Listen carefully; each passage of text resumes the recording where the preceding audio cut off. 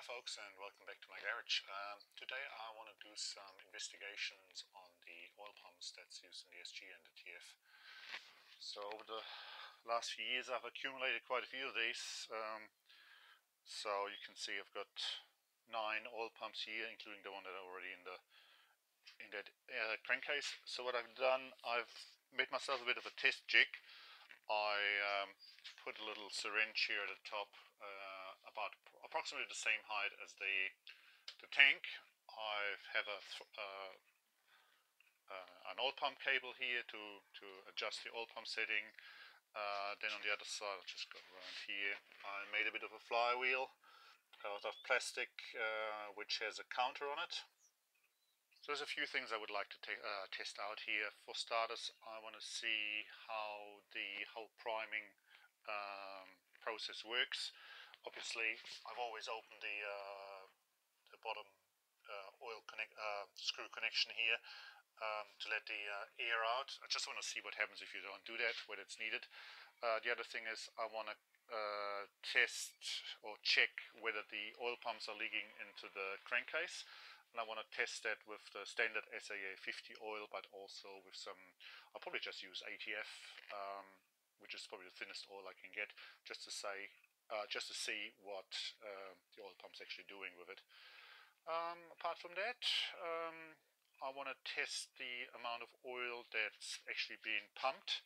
And from the Slanka uh, book on the on the split single engines, uh, he writes that uh, there is 1.83 millimeters cubic millimeters uh, per revolution.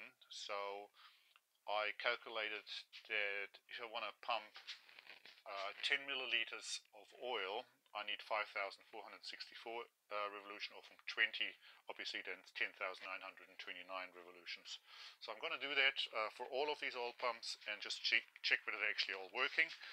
Um, but also we'll do a leak test for each of them. So what I'll do, I'll do 24 hours at uh, zero throttle, and then I have it sitting there for 24 hours on full throttle see whether it makes any difference. Also, what I'm going to do, I'm going to do it at different positions of the um, of the pump. So I'm going to have it at the bottom position uh, and also at the top position.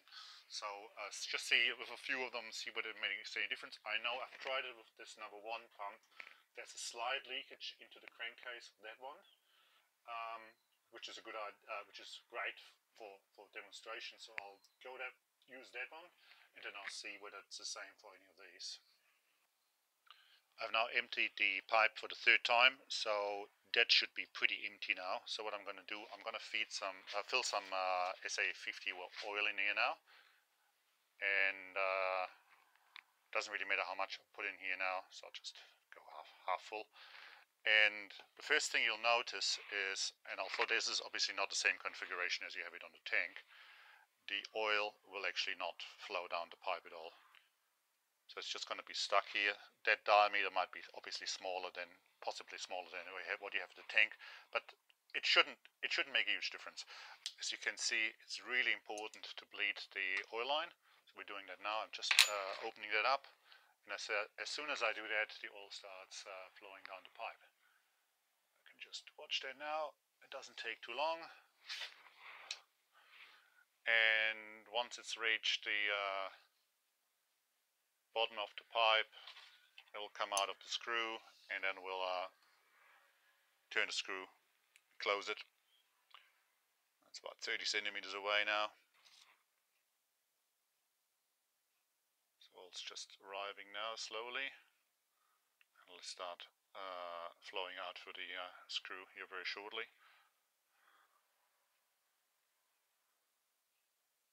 Right, starting to come out so I don't think it's much point waiting any longer, so I'll close that now.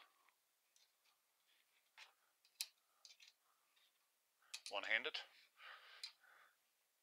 Okay, so that's tight. Just clean it off.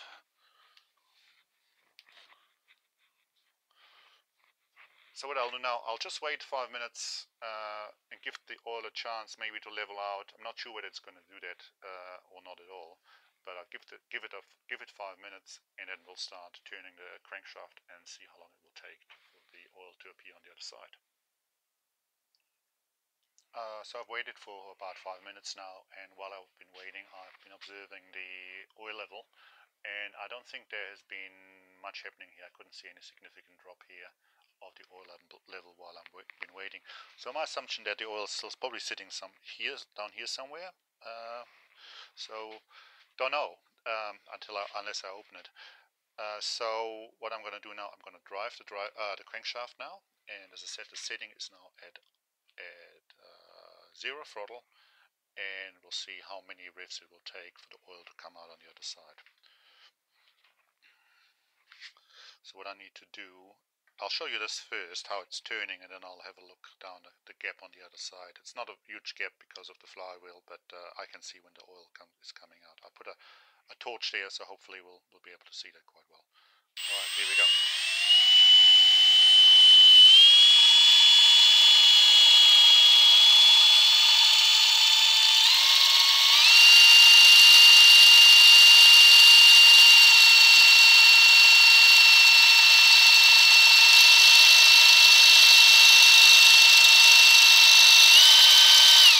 Just came out for the first time. So that was about 450 revs. So I just repeated that test and I found that with the throttle setting on full throttle, the oil comes through much quicker. That was only about 260 revs, whereas with the other one, a very tiny amount of oil was coming through at about uh, four, 500 revs. So my suggestion, I don't know, whether it's uh, whether it's a thing, but maybe it's a good idea when you reconnect your oil for the first time to uh, uh, actually go reasonably high throttle so that the oil can start flowing because at zero uh, throttle there's virtually not, not much oil coming through at all. Um, not sure. So I'll let this uh, sit now for 24 hours. Um, I know that this particular pump last time I checked it, there was a bit of oil coming through. So let's see how much oil it will be. I'll I'll fill up the reservoir to a, a, a, a level, let's say 30 exactly, and then just see in 24 hours how much oil we'll actually lose. And I'll keep the throttle at zero, which is pretty much what you would have in your garage uh, when you park up the bike. So here's the engine uh, just about 48 hours later, and as you can see, oh, you probably can't see it, but I can feel it. It's just a light, slight film of oil, and it dripped onto the. No, it didn't drip. No, it's just a slight film of oil, not much. And I'll check out the other side.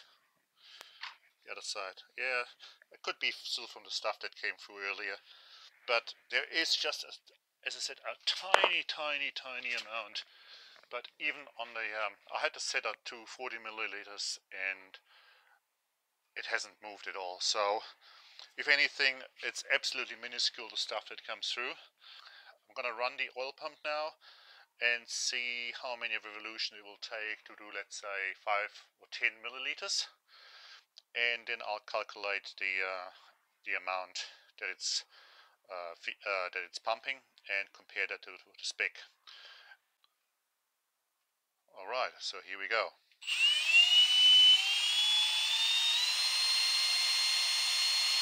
About 100 revs now. 200.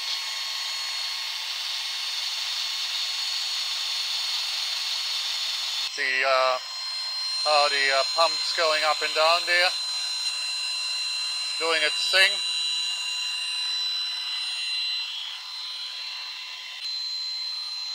So I've done about 2,000 uh, revolutions now and I've lost about I used about one milliliter of oil. So we just passed 6,000 revolutions and yeah, we're looking at about three, just over three milliliters. So it seems to be pretty consistent. So I'll, I'll run it down to five milliliters here.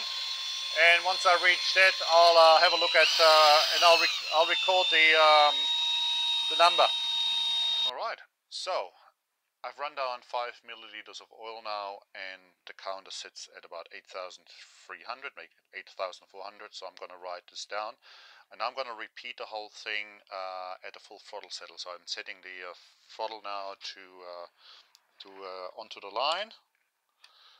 And so that's sitting on, on the line now. And I'm just going to reset my timer and I'm just going to restart the whole thing at 35 and maybe run it down to 25 because I assume it's going to be much using much more. So I'm going to reset the timer. And then we'll do the whole thing at full throttle.